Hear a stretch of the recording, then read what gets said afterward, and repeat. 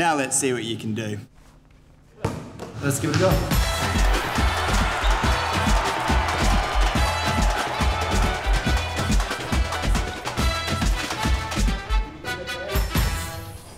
Growing up in Europe, of course, I'm a huge soccer fan.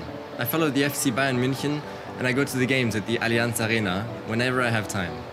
And of course, I'll be following Germany in the World Cup in Brazil. There are about 3.5 billion football fans in Europe, Africa, Asia, America. Of course, all the kids try to emulate their idols.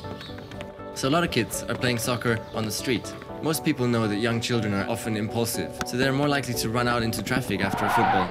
The beauty of the game is that it can be played anywhere. So to kids, I'd say, please think carefully about where you play.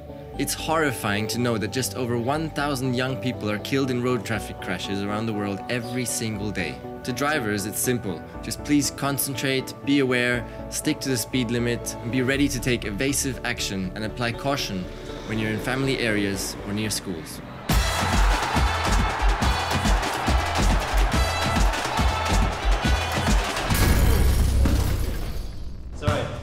Mas nós.